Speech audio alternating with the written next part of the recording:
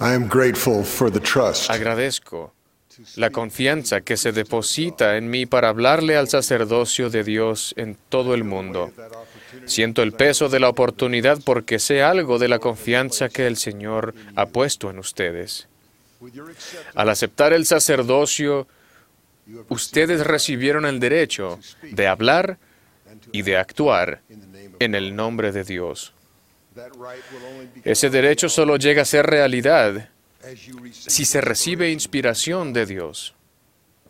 Solo entonces podrán hablar y actuar en su nombre, solo de esa manera. Quizás hayan cometido el error de pensar, eso no es tan difícil. Si se me pide que dé un discurso o si tengo que dar una bendición, recibiré inspiración. O tal vez el joven diácono o maestro sienta tranquilidad al pensar, cuando sea más grande, o cuando se me llame como misionero, entonces sabré qué dirá o qué haría Dios. Piensen en el día en el que deben saber lo que Dios diría o lo que Él haría. Ese día ya nos llegó a todos, hermanos. No importa cuál sea el llamamiento que tengan en el sacerdocio. Crecí en una rama pequeña durante la Segunda Guerra Mundial. Los miembros vivían distanciados y la gasolina se racionaba estrictamente. Yo era el único diácono de mi rama. Los miembros entregaban su ofrenda de ayuno al presidente cuando asistían a la reunión de ayuno y testimonios que se realizaba en nuestra casa. Cuando tenía 13 años nos mudamos a Utah y el barrio era muy grande. Recuerdo mi primera asignación de ir a los hogares para recolectar ofrendas. Me fijé en el nombre que había en uno de los sobres y vi que el apellido era igual al de uno de los tres testigos del libro de Mormón. Así que llamé a la puerta con confianza. Un hombre abrió la puerta, me. miró con enojo y me dijo a gritos que me fuera. Me alejé cabizbajo. Eso ocurrió hace casi 70 años, pero aún recuerdo el sentimiento que tuve ese día en ese umbral de que había algo que tenía que haber hecho o dicho. Si tan solo hubiera orado con fe al salir ese día, quizás habría recibido la inspiración para quedarme unos momentos más en esa puerta, sonreír y decir, es un gusto conocerlo. Gracias por lo que usted y su familia han dado en el pasado. Me emocionaría verlo de nuevo. Si hubiera dicho y hecho eso, tal vez se hubiera irritado más y hasta ofendido. Pero sé cómo yo me hubiese sentido. En vez de alejarme con tristeza, quizás hubiera sentido en la mente y el corazón el dulce elogio, bien, buen siervo. Todos debemos hablar y actuar en el nombre de Dios en momentos en los que el discernimiento solo no bastará sin la inspiración. Esos momentos pueden llegar cuando no hay tiempo para prepararse. Me ha sucedido a menudo. Me sucedió hace años en un hospital donde un papá dijo que los médicos habían indicado que su hija de tres añitos, que había sufrido una lesión grave, moriría en cuestión de minutos. Al poner las manos en el único lugar sin vendas en su cabeza, yo tenía que saber, como siervo de Dios, lo que Él haría y diría. Me acudieron a la mente las palabras de que ella viviría. El médico, de pie a mi lado, gruñó con indignación y me pidió que me hiciera a un lado. Salí del cuarto del hospital con un sentimiento de paz y amor. La niña vivió y entró por el pasillo a la reunión sacramental el último día de mi visita a esa ciudad. Aún recuerdo el gozo y la satisfacción que sentí por lo que había dicho y hecho en el servicio del Señor por esa pequeña y su familia. La diferencia del sentimiento que tuve en el hospital y la tristeza que sentí al alejarme de aquella puerta cuando era diácono provenía de lo que había aprendido sobre la relación que hay entre la oración y el poder del sacerdocio. Cuando era diácono, no sabía que la revelación es necesaria para tener el poder de hablar y actuar en el nombre de Dios. Y para recibirla, cuando la necesitamos, debemos orar y obrar con fe a fin de contar con la compañía del Espíritu. La noche antes de ir a aquella casa a recolectar la ofrenda, había orado a la hora de acostarme. Sin embargo, antes de recibir esa llamada, me había mantenido en un esquema de oración y había tratado de hacer lo que el presidente Joseph F. Smith enseñó, que permitirá que Dios nos inspire para utilizar el poder del sacerdocio. Lo explicó así. No tenemos que clamar a Él con muchas palabras, no tenemos que fastidiarlo con oraciones largas. Lo que necesitamos y debemos hacer como santos de los últimos días para nuestro propio bien es ir ante Él a menudo, testificarle que nos acordamos de Él y de que estamos dispuestos a tomar su nombre sobre nosotros, guardar sus mandamientos y actuar con rectitud. Después nos dijo, por lo que deberíamos orar en calidad de siervos que se comprometen a hablar y actuar en el nombre de Dios. Nos dijo, ¿qué piden en sus oraciones? Piden que Dios los reconozca y que oiga sus oraciones. No se trata de qué palabras usamos, pero requerirá algo de paciencia. Es una forma de acercarse al Padre Celestial con la intención de que Él nos reconozca personalmente. Él es el Dios de todo, el Padre de todos, y aún así está dispuesto a prestar su atención a uno de sus hijos. Tal vez fue por eso que el Salvador dijo, Padre nuestro que estás en los cielos, santificado sea tu nombre. Es más fácil tener el sentimiento apropiado de reverencia si nos arrodillamos e inclinamos la cabeza. Aunque es posible sentirse cerca al Padre Celestial, con una oración menos formal y hasta silenciosa, ya que a menudo tendrán que hacerlo. Quizás habrá ruido y personas a su alrededor la mayor parte del día. Dios escucha las oraciones que ofrecen en silencio pero deben aprender a bloquear las distracciones, porque en la ocasión en que necesiten una conexión con Dios, quizás no se presente en momentos de silencio. El presidente Smith dijo que debemos orar a fin de que Dios reconozca su llamamiento para servirle. Él ya sabe de su llamamiento con detalles. Él es quien los llamó. Y al orar a Él en cuanto a su llamamiento, Él les revelará más al respecto.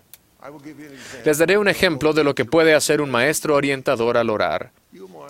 Tal vez ya sepan que tienen el deber de visitar la casa de todos los miembros, exhortándolos a orar en voz alta, así como en secreto, y a cumplir con todos los deberes familiares, velar siempre por los miembros de la iglesia y estar con ellos y fortalecerlos, cuidar que no haya iniquidad en la iglesia, ni aspereza entre uno y otro, ni mentiras, ni difamaciones, ni calumnias, y ver que los miembros de la iglesia se reúnan con frecuencia y que todos cumplan con sus deberes. Incluso para el maestro orientador con experiencia y su compañero menor, eso es claramente imposible sin la ayuda del Espíritu Santo. Piensen en las familias o incluso en las personas a las que se les ha llamado a servir. El criterio humano y las buenas intenciones no bastan. Deben orar para reconocer el corazón de las personas, para saber qué cosas están mal en la vida y el corazón de personas a quienes no conozcan. Tendrán que saber lo que Dios desea que hagan a fin de ayudarles y hacer todo lo posible con el mismo amor que siente por ellas Dios. Debido a los importantes llamamientos del sacerdocio que tienen, el presidente Smith recomienda que al orar siempre supliquen a Dios que los bendiga con su espíritu. Necesitarán el Espíritu no solo una vez, sino todas las que Dios les conceda tenerlo como compañero constante. Es por eso que debemos orar siempre para que Dios nos guíe en el servicio que prestamos a sus hijos. Debido a que no podemos alcanzar el potencial de nuestro sacerdocio sin la compañía del Espíritu, ustedes son el blanco del enemigo. Si Él puede tentarlos para que pequen, reduce el poder que tienen para que los guíe el Espíritu y a la vez reduce su poder en el sacerdocio. Por eso el presidente Smith dijo que siempre debemos orar para que Dios nos advierta y nos proteja del mal. Él nos advierte de muchas maneras. Las amonestaciones son parte del plan de salvación. Profetas, apóstoles, presidentes de estaca, obispos y misioneros elevan la voz de amonestación para que escapemos de las calamidades mediante la fe en Jesucristo, el arrepentimiento y el hacer y guardar convenios sagrados. Como poseedores del sacerdocio, ustedes son parte de la voz de amonestación del Señor. Sin embargo, deben hacer caso a la amonestación. No podrán sobrevivir espiritualmente sin la protección que brinda la compañía del Espíritu Santo en su vida diaria. Deben orar y esforzarse por contar con ella. Solo con esa guía encontrarán la senda en el estrecho y angosto camino a través de los vapores de tinieblas. El Espíritu Santo será su guía a medida que les revele la verdad cuando estudien las palabras de los profetas. Recibir esa guía necesita más que solo escuchar y leer. Tendrán que orar y esforzarse con fe a fin de que las palabras les lleguen al corazón. Deben orar para que Dios los bendiga con su espíritu, que los guíe a toda la verdad y les indique el camino correcto. De esa forma les advertirá y guiará hacia la senda correcta en su vida y en el servicio que presten en el sacerdocio. La conferencia general es una gran oportunidad para dejar que el Señor aumente su poder para servir en el sacerdocio de Dios.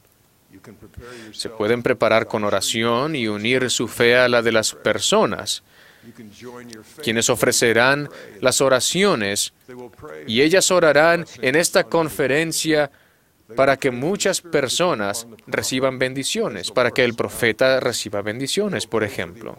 Orarán por los apóstoles y por todos los siervos llamados por Dios. Eso los incluye a ustedes, desde el diácono más nuevo hasta el sumo sacerdote con experiencia, y algunas personas mayores como jóvenes que pronto podrían ir al mundo de los espíritus, donde se les dirá, bien, buen y siervo fiel ese recibimiento llegará a algunos y les sorprenderá. Quizás nunca hayan tenido un cargo de responsabilidad en el reino de Dios sobre la tierra. Habrá quienes consideren que vieron pocos resultados de sus esfuerzos o que nunca se les dieron oportunidades de servicio. Otros sentirán que el tiempo de su servicio en esta vida fue más breve de lo que esperaban. Para el Señor los factores determinantes no serán los cargos que tuvieron ni el tiempo que se sirvió. Eso lo sabemos por la parábola del Señor sobre los obreros de la viña, en la que la paga fue la misma sin importar el tiempo que sirvieron ni el lugar. Serán recompensados por la forma en que sirvieron. Conozco a un hombre, un buen amigo, cuyo tiempo en la tierra llegó a su fin a las once de la noche. Recibió tratamiento para el cáncer durante años y durante esos años de tratamiento y mucho dolor y dificultades, aceptó el llamamiento de llevar a cabo reuniones en las que sería responsable de miembros de su barrio y de ser responsable de ellos. Entre ellos, miembros, entre estos miembros había viudas y se le llamó para que les ayudara a encontrar consuelo por medio de la convivencia y el aprendizaje del Evangelio. Cuando recibió la noticia de que solo le quedaba poco tiempo de vida, su obispo se encontraba de viaje. Dos días después le envió un mensaje a su obispo por medio del líder de los sumos sacerdotes. Esto fue lo que le dijo. Tengo entendido que el obispo está afuera, pero tengo planes. He pensado hacer una actividad para nuestro grupo el próximo lunes. Dos miembros nos pueden llevar a hacer un recorrido al centro de conferencias. Algunos miembros nos podrían ayudar a llevar personas y algunos scouts podrían empujar sillas de ruedas. Dependiendo de las personas que se anoten, puede que tengamos suficientes ancianos para hacerlo nosotros mismos, pero sería bueno saber si tenemos refuerzos. También sería una buena actividad familiar para los que ayuden. Avíseme antes de que anuncie el plan. Gracias. Luego sorprendió al obispo con una llamada telefónica. Sin mencionar su situación ni el valiente esfuerzo que hacía, preguntó, Obispo, ¿hay algo que pudiera hacer por usted? Solo el Espíritu Santo le pudo haber permitido sentir la carga del obispo cuando la suya era tan grande. Y solo el Espíritu pudo hacer posible que elaborara un plan para servir a sus hermanos y hermanas con la misma precisión con la que planificaba actividades de escultismo cuando era joven. Con una oración de fe, Dios nos puede otorgar poder en el sacerdocio para cualquier circunstancia en la que nos encontremos. Todo lo que se requiere es que pidamos con humildad que el Espíritu nos muestre lo que Dios desea que digamos y hagamos que lo hagamos y que sigamos siendo dignos de recibir ese don. Testifico que Dios el Padre vive, que nos ama y que escucha nuestras oraciones. Testifico que Jesús es el Cristo viviente, cuya expiación hace posible que nos purifiquemos y de ese modo ser dignos de la compañía del Espíritu. Testifico con fe y que con la diligencia un día podremos escuchar las palabras, bien, buen siervo y fiel. Ruego que tengamos esa maravillosa bendición de parte de nuestro Maestro, a quien servimos. En el nombre de Jesucristo. Amén.